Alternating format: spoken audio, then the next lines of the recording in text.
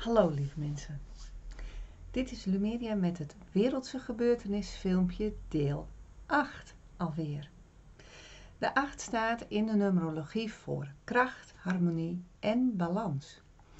Als je het filmpje van 20 januari even ziet, uh, het positieve filmpje, daar doe ik een speciale balansoefening. De hele week heb ik speciale oefeningetjes gedaan. Kijk die filmpjes, is heel belangrijk, want dat kan je gewoon een beetje helpen om weer wat beter in je vel te komen. En aarden, vertrouwen hebben. Dit filmpje gaat over hoe je positief kan blijven in deze wereld. En wat is er allemaal positief? Want dat is wat ik vanmorgen ook op mijn groepen ervaarde. Dat heel veel mensen het heel moeilijk vinden om, uh, zeker na alle berichten van woensdag om positief te zijn en eigenlijk te zien wat er gebeurt en dat er ook heel veel goede zaken gebeuren. Eén ding wat we ons moeten realiseren is dat wij niet de touwtjes in handen hebben. Wij hebben in ons eigen leven, in, uh, in ons huis, in ons huishouding de touwtjes in handen. Jij beslist wat je eet, hoe je eet, wanneer je eet. Maar voor de rest zijn wij overgeleverd aan anderen.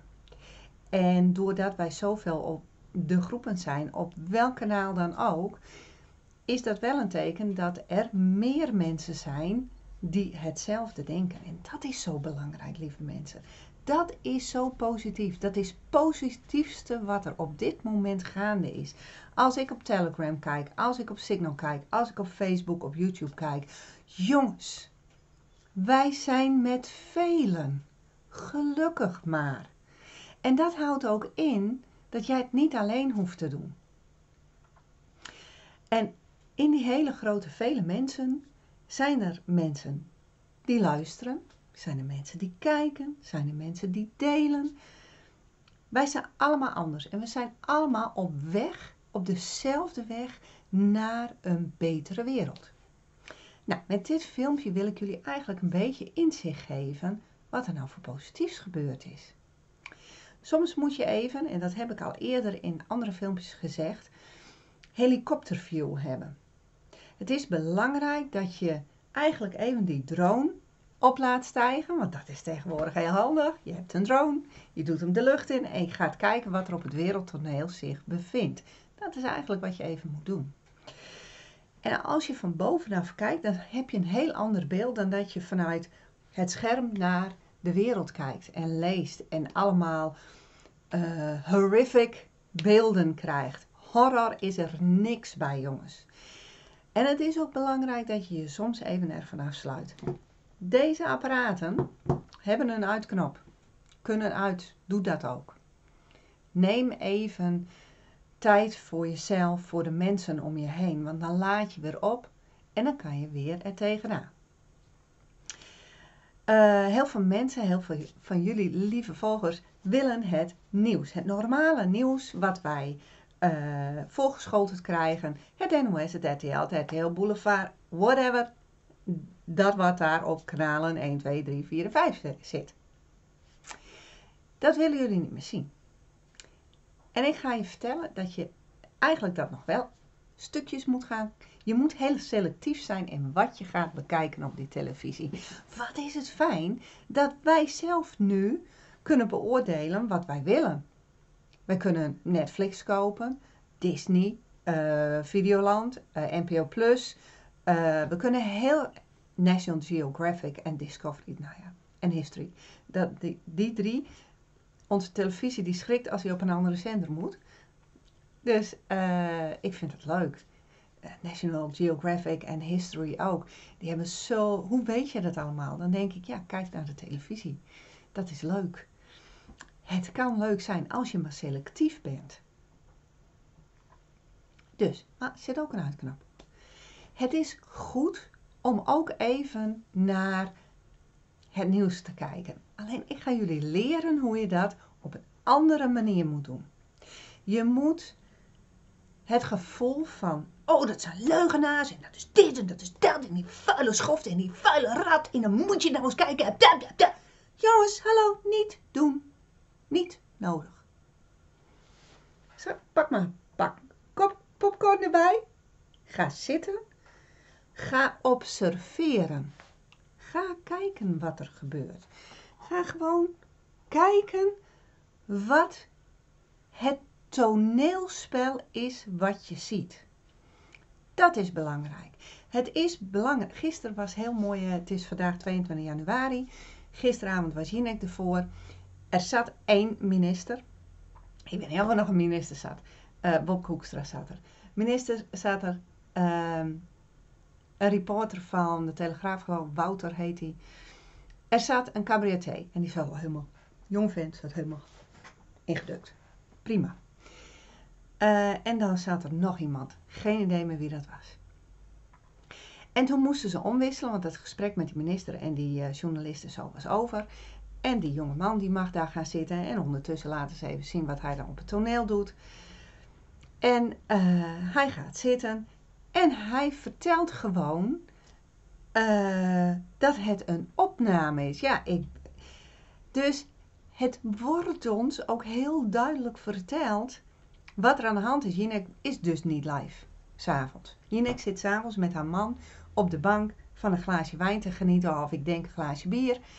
Die zit daar niet in die studio. Want dat werd dus gisteren wel duidelijk. Het is opgenomen. Het is, het is een toneelspel, jongens. En daar kan je heel kwaad om worden. Maar je kan ook proberen er doorheen te prikken. Maar als jij in die emotie blijft zitten dat het allemaal gemeen is en dat uh, ze ons allemaal iets aan willen doen en dat het vuile ratten zijn. En ik krijg heel veel termen, zie ik ook in de groepen. En lees mijn laatste geschreven column Blijf hoffelijk. Ook thuis. En tuurlijk mag jij je mening uiten. Tuurlijk mag je een keer boos zijn. Zijn wij ook. Iedereen heeft al die emoties. Heeft Elisabeth Kubler-Ross ons heel mooi verteld hoe die emoties werken. Dus als jij in die woedende emotie blijft zitten, dat je dan zo'n uh, minister bij uh, ziet of op één ministers en journalisten en mensen die van alles weten. Als je dan blij, boos blijft, dan zie je niet meer wat ze werkelijk vertellen. Dus ga luisteren, want dat is belangrijk. Het is positief dat wij die avondkolok krijgen. Hé, zegt die Lumeria nou niet? Nee, ik zal je zo meteen vertellen waarom. En ik ben het er niet mee eens dat we een avondklok krijgen. Maar blijf hangen, blijf hangen. Ik zal je uitleggen, want nu zeppen natuurlijk heel veel mensen weg, niet doen. Ik ga je vertellen wat het wereldse plaatje is, waarom deze stap nu belangrijk is naar de stap voor wereldvrede. Voor Nesara, voor Gesara, voor Trump, 4 maart president, tussen 4 en half april, 4 maart en half april. Dan staat op programma, maar jongens, dit hebben wij al 25 jaar meegemaakt. Dit luisteren wij al 25 jaar. Het komt eraan. In die 25 jaar hebben we gelukkig ook heel veel veranderingen gezien. Maar pin je niet vast op datums. Wij waarschuwen, die EHBO-doos. Goed, waarom zeg ik nu dat die uh, avondklok positief is? Omdat dat weer een stapje is, een stuk, jullie willen bewijs zien. Die avondklok is bewijs dat er een spel gaande is. Zo moeten jullie dat ook gaan bekijken.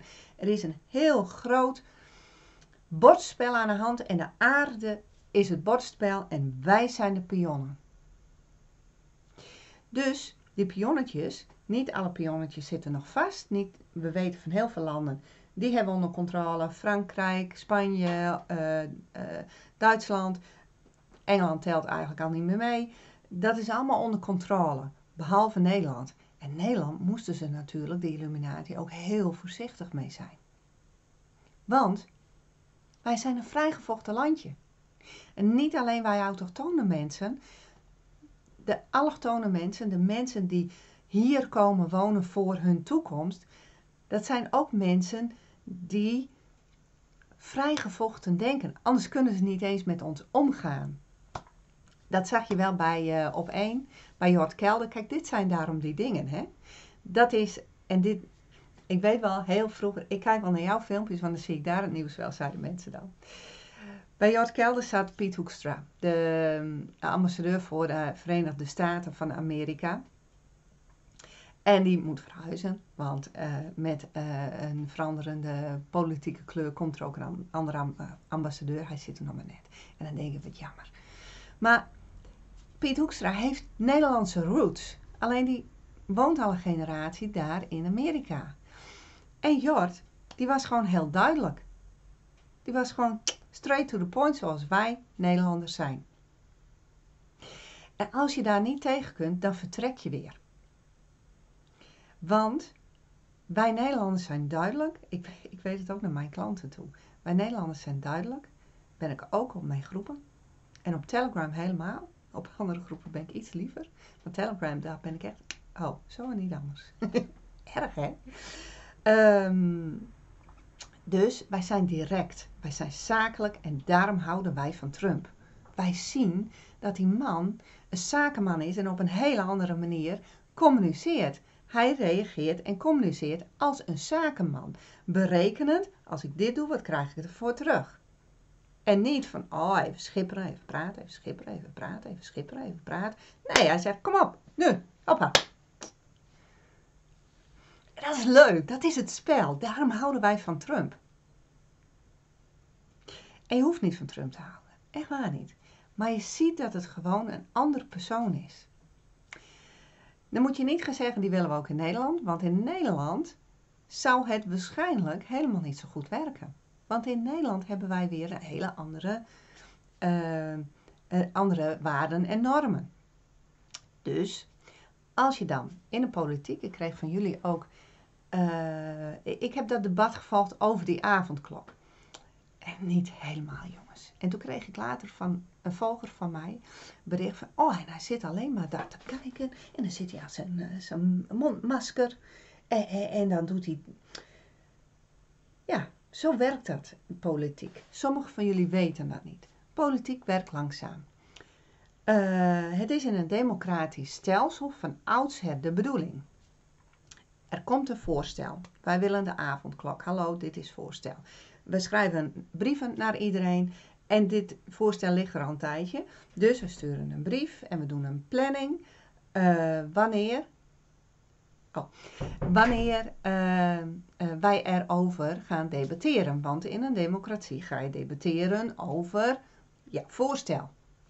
Nou, dus hebben ze deze datum genoemd. Nou, kwamen ze niet uit. Dus gisteren weer dat debat. Weer brieven, heen en weer. Uh, over wat ze wel of niet belangrijk vinden, of ze het wel of niet willen. Iedere fractie, ieder uh, kleurtje, zou ik maar zeggen, heeft zich goed voorbereid. Van dit wil ik gaan zeggen, dit zijn mijn voor's, dit zijn mijn tegens. Dat laat, dit is democratie.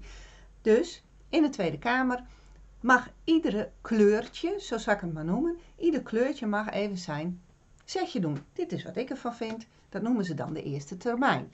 Dit is wat ik ervan vind. En ondertussen kunnen andere partijen al even vragen stellen. Oké, jij vindt dat uh, die avondklok om 6 uur moet beginnen, maar heb je gerealiseerd dat dan eigenlijk de mensen echt helemaal niet meer iets kunnen doen? Oh ja, dat is eigenlijk ook zo. Dus er is een korte reactie mogelijk.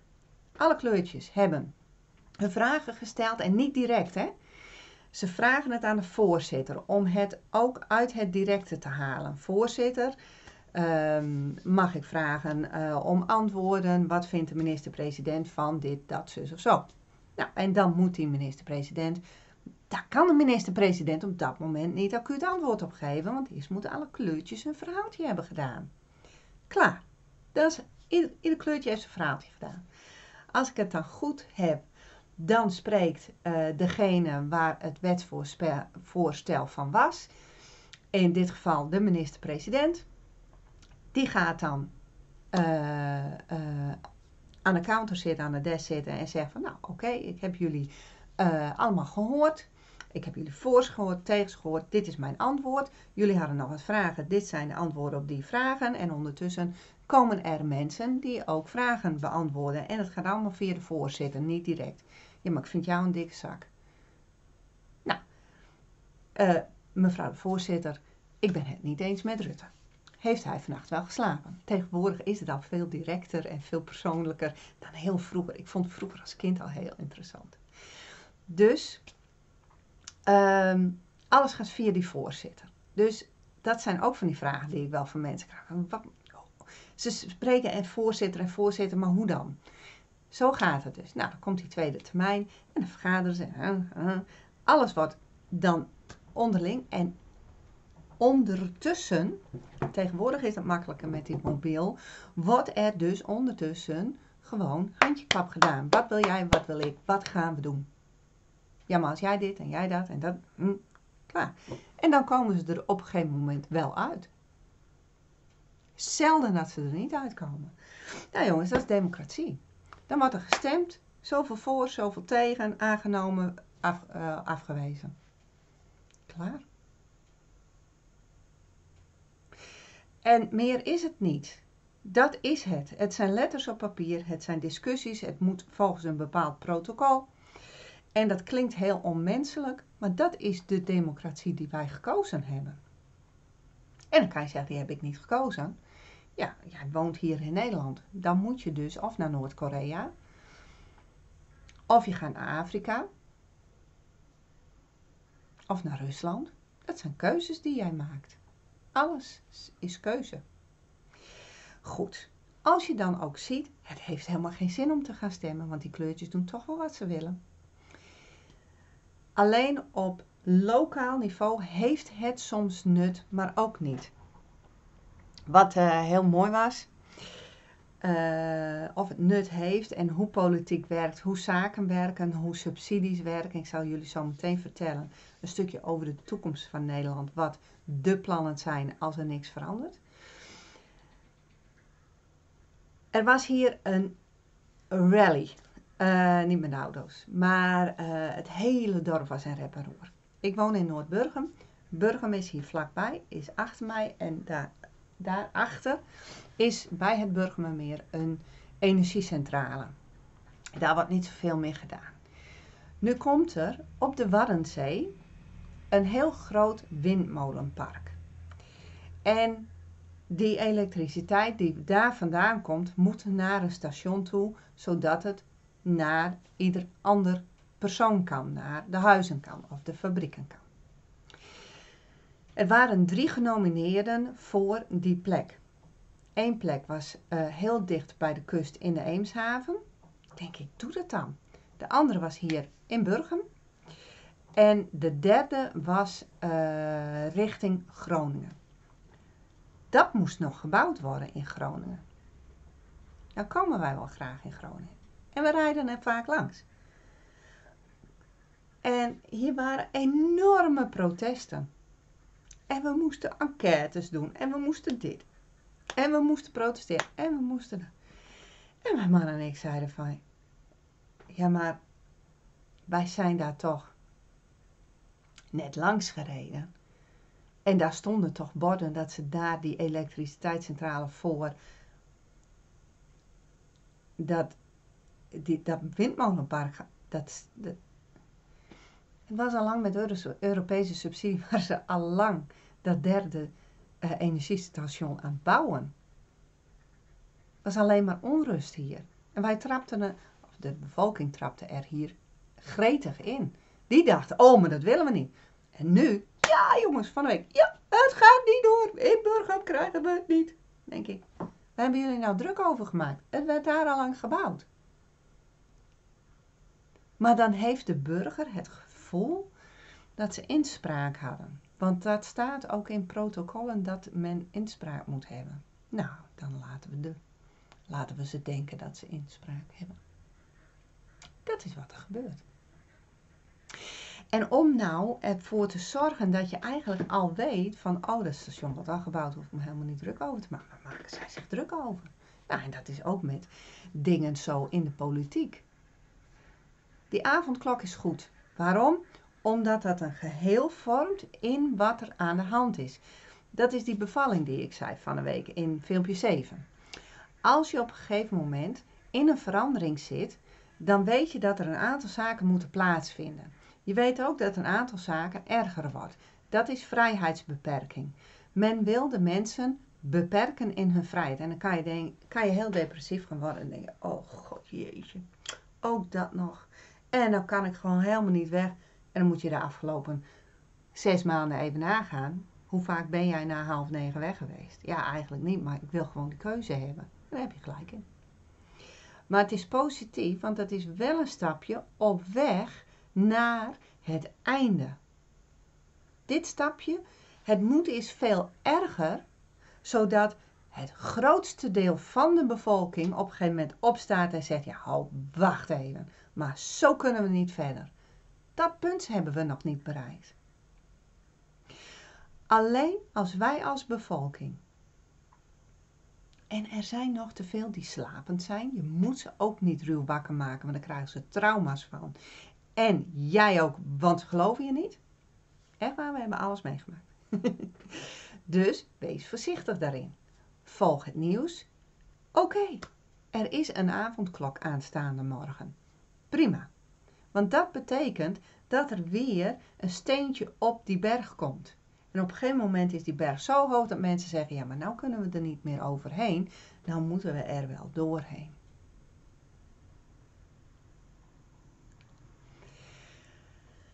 Dus het is belangrijk dat je gaat inzien dat de maatregelen die er gebeuren, dat je die omarmt. Dat je denkt, oh yes, oké, okay, avondklok. Weer een stapje verder. Weer een stapje verder dat steeds weer nieuwe mensen zich gaan realiseren. Dit kan niet. Er zijn gewoon nog te weinig mensen. En dan op een gegeven moment zijn er genoeg mensen, langzaam maar zeker. Ik heb vorig jaar al gezet, dat duurt twee jaar. Waarom twee jaar? Ik noemde net al uh, Elisabeth Kubler-Ross. Dat was een uh, uh, psycholoog een psychiater. Ik wil, daar wil ik vanaf zijn. Volgens mij was ze een psycholoog. En die heeft heel veel onderzoek gedaan. He, hele geleerde wijze vrouw. Heeft onderzoek gedaan in de emoties en welke lagen van emoties mensen doorgaan. En uh, ook stervensbegeleiding heeft ze heel veel over geschreven. En uh, hele bijzondere vrouw. Nou, Elisabeth Kubler-Ross. En Elisabeth Kubler-Ross die heeft ons verteld dat wij mensen gaan door zeven stadia van emoties heen als wij iets traumatisch meemaken. dus het maakt niet uit of het dan een stervensgeval is in je familie, naast de familie, of dat je niet meer kan lopen, of dat je een ernstige ziekte krijgt, of dat je in oorlog zit. Dit zijn, uh, of een scheiding of wat dan ook. Dit zijn dus die stadia waar we doorheen moeten. Ook als bevolking, als groep mensen hier op aarde gaan wij ieder verschillend door die stadia heen. En daar moeten we eerst doorheen, zodat we op geen moment hebben we alles gehad. We hebben de woede gehad, we hebben het ontkennen gehad, het marchanderen gehad. Nou, zo zijn al die zeven stappen verdriet, angst, alles hoort erbij. En misschien dat je ze niet alle zeven krijgt, maar wij als bevolking moeten daar doorheen, zodat we uh, in onze. Ik heb telkens kriebel aan mijn hoofd uh, zodat we, gek ja, maar uh, zodat wij met ons allen de neus in dezelfde richting op hebben en zeggen, ho, nu is genoeg geweest. Er is dus nu nog te weinig, uh, er zijn te weinig mensen die dat samen met ons kunnen doen. En dat zie je met de protest, protesten die, er, die er spelen. Wat nog ernstiger is, uh, in 2019 in juli heb ik een heel soms dan doe ik hele klein ik doe altijd hele mooie kaartjes of ik maak van die dingetjes vind ik leuk. En dan zet ik er een tekst op. En dan kan je ook zien dat mensen niet lezen niet luisteren. Ik had een engel erop. En ik er zoveel vind ik leuk. Prachtig prachtig prachtig prachtig. Op een gegeven moment heb ik eronder gezet als reactie maar hebben jullie wel gelezen wat er op het kaartje staat? En toen bepaalde mensen dat gingen lezen, toen dachten ze, oh, dat is niet leuk. Is ook niet boos. Dat is heel verdrietig.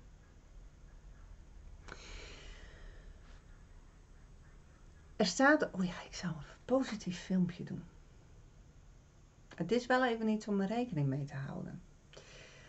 Op de wereld, waar je ook ziet, nou ook, er zijn ook heel veel gebieden waar je hele arme mensen ziet die niet dik zijn. Hier in het westen, hier in Nederland en zeker in Amerika. Ik ben gelukkig zelf in Amerika geweest, dus dan heb je een beetje geproefd hoe dat land is. Mafland. En ehm, als kan zouden we echt heel graag weer terug willen. Maar dat komt. Het is belangrijk om te realiseren dat soms zich iets aandient wat, ehm, wat jaren al ons een trigger geeft van jongens, hou er rekening mee. Er zijn heel veel mensen met obesitas. Soms is het ook handig om te weten hoe moeder aarde werkt. Moeder aarde die laat haar bevolking dikker worden. Een groot gedeelte van de bevolking is te dik. Niet alleen mensen, ook dieren. Dus mensen hebben ook honger. Dieren hebben ook echt honger, zijn veel dikker dan vroeger. Dat geeft een teken dat er hongersnood komt. Nu willen ze in het volgende stapje ook de slagerijen hier in Nederland sluiten. Omdat het schijnt dat daar toch ook heel veel besmettingen vandaan komen. En omdat men niet zich kan houden aan die avondklok. Dat geeft te veel werk. Nou zullen vegetariërs en veganisten zeggen, oh, nou dat hindert ook niks, er is eten genoeg. Er is nog wel eten genoeg, maar, maar, er komen echt tekorten. En waarom? Waarom zeg ik dat? Daar schrik je natuurlijk van, dit zou een positief filmpje zijn. Omdat wij met heel veel mensen hier op de aarde zijn.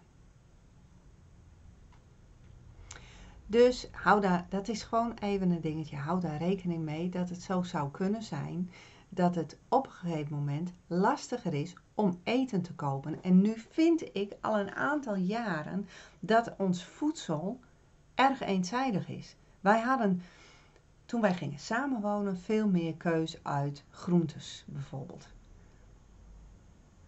Ik vind het, uh, de groenten en het fruit, ook het vlees, het bederft heel snel. En het is, uh, het, het heeft niet meer die kracht die het vroeger had. En dat is zeker zo. Daarom moet je ook vitamine nemen. Nou, mag je vitamine nemen, jouw keus. Wat is positief? Dat alles in werking is, dat alles verandert. Het is positief dat, uh, dat wij zien op de groepen dat wij niet alleen zijn. Dat wij niet alleen gefrustreerd zijn dat iets niet lukt, want wij willen zo graag. En hou die moed erin, brandkaarsjes, hou die moed erin, lieve mensen. Uh, er staat echt nog wel heel veel te gebeuren. Wij delen ook heel veel. Dan kan je ook lezen dat er heel veel in werking is. En vertrouw erop. Of je nou geloof aanhangt of niet. Vertrouw erop dat heel veel zaken soms hele lange tijd nodig hebben voordat ze echt tot uiting kunnen komen. En probeer in die tussentijd veilig en goed te leven.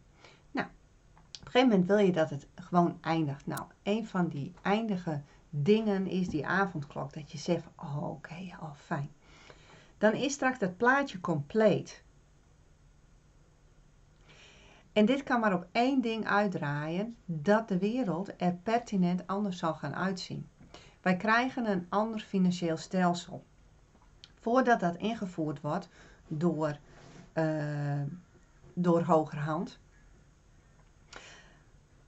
zou ik me ook kunnen voorstellen dat zo'n avondklok wel handig is.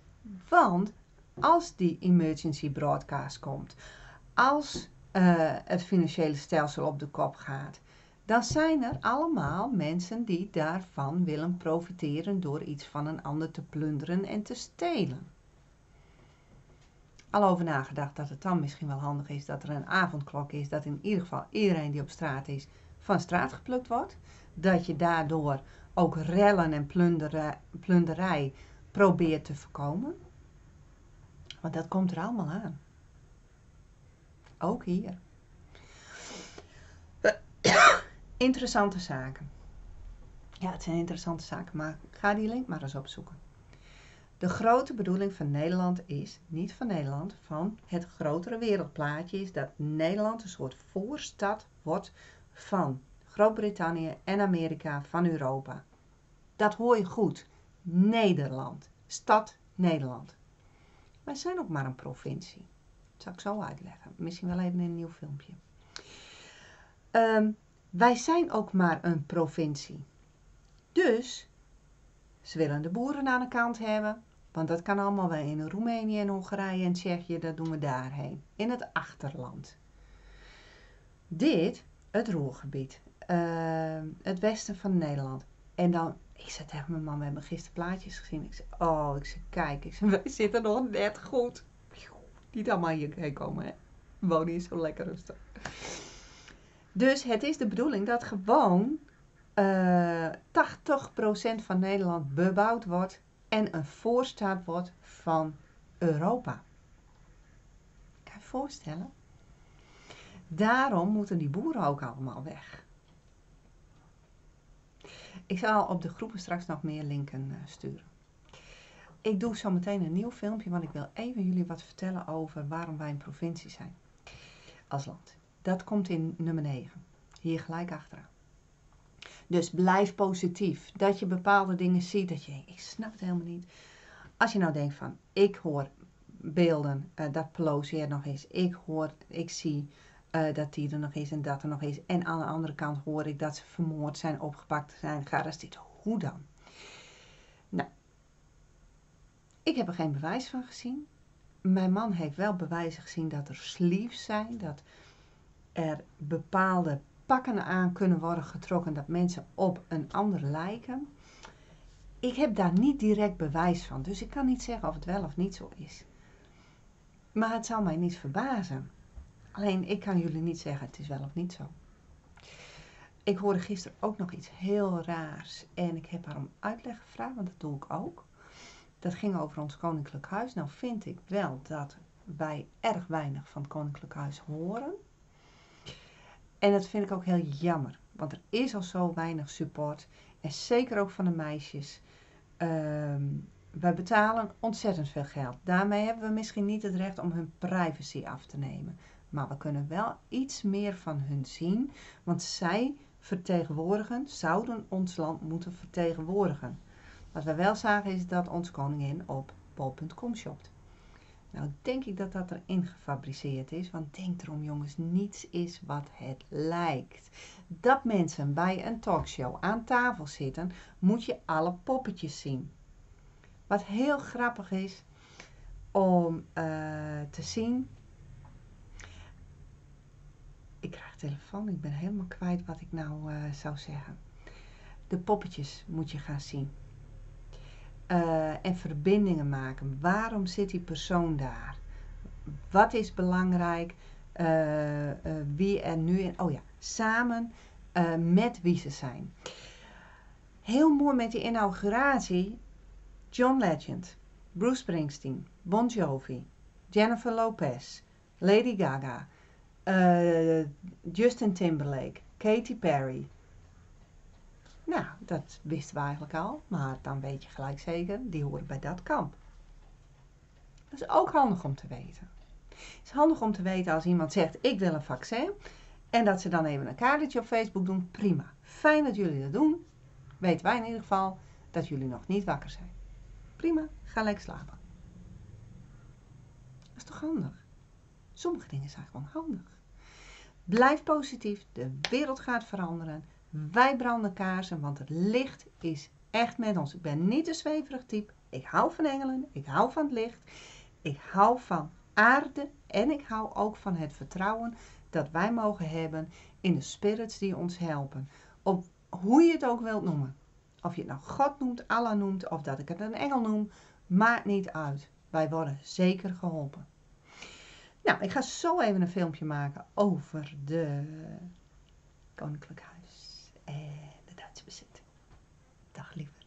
Oh, volg mij op Telegram hè, en uh, vind even alles leuk. Jullie weten het wel. Dag lieverd.